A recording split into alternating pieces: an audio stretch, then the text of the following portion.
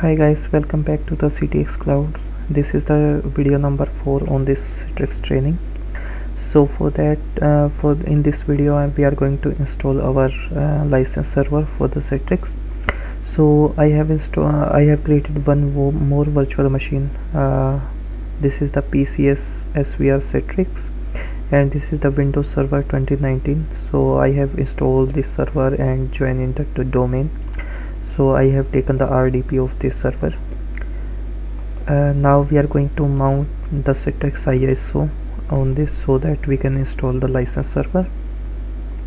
Go into the DVD drive click on browse and here ISO Citrix and then 1912 LTSR virtual apps and desktops click on that and click on ok. Click on apply ok.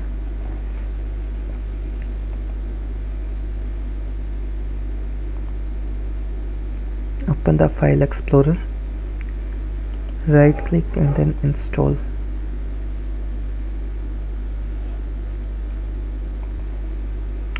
So we are going to start our virtual apps and delivery uh, icon. So click on start. So here we need to select license server because we have uh, we are going to install a standalone license server. So click on license server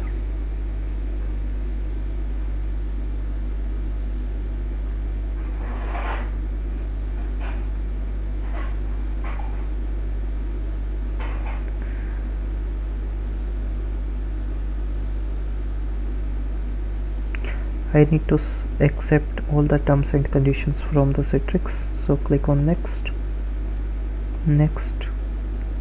So the, these are the ports for the license server in Citrix 7279 27000 8083 and 80832 click on next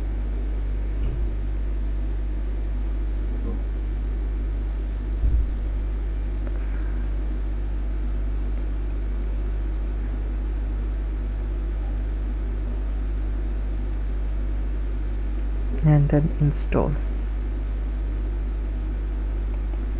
So guys meanwhile the license server is installing. Let's discuss about the some ports of the license server. So 27th of uh, thousand port number is used when we connect the delivery controller to the license server while configuring our site. This is the vendor daemon port. So 7279 is the vendor daemon port. Uh, 808 uh, 8082 so this is the administration port so when we install any license fi file uh, on the uh, license server so this port is used to open the console.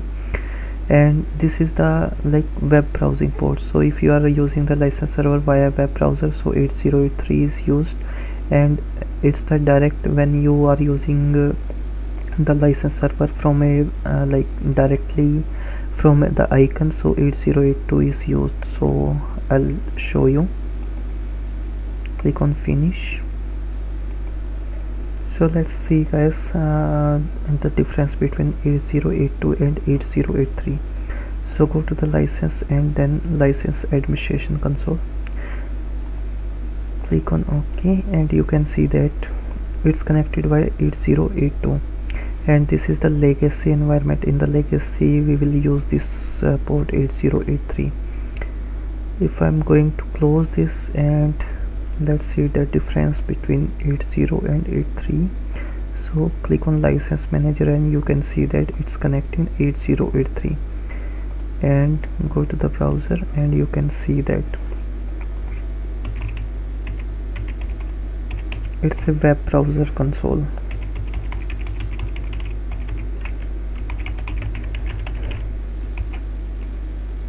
From both the websites I mean from both the ports you can manage your licenses. So this is the like uh, difference here.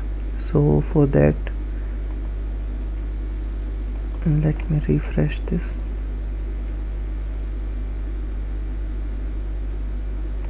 Click on install and here from here you can install the license file. In other case uh, if you go to the administration console.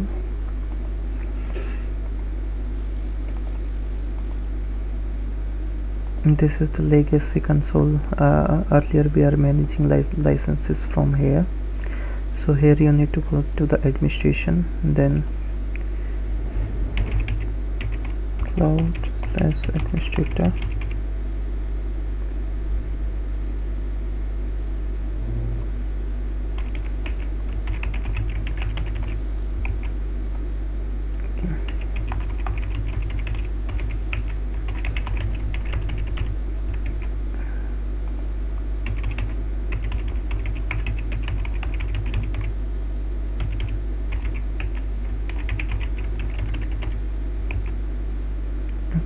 so from here you need to go the the vendor daemon citrix and import a license file and browse and then you need to import license file. So uh, just wait let me download the license file for my citrix environment. So guys I have downloaded the citrix license file from the portal. So I'm going to place this license file here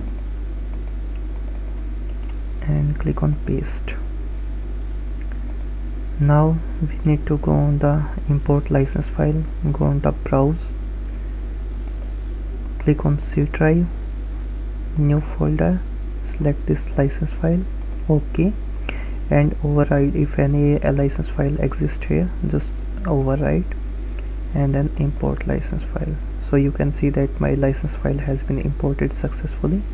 After that I need to reboot the server and let's meet in our next video